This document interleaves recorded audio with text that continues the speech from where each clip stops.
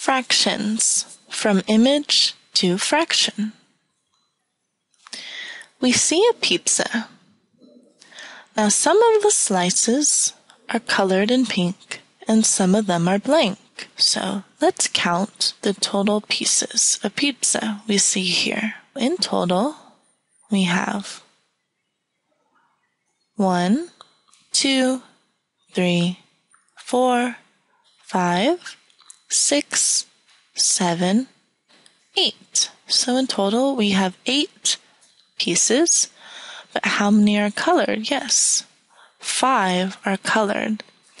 So we take the total number of slices, that's our bottom number, versus the ones that are colored.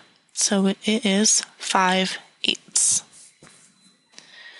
Okay, again, let's count.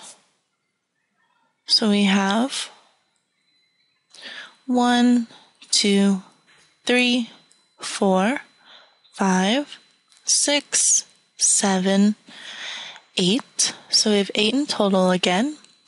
And this time, six are colored in.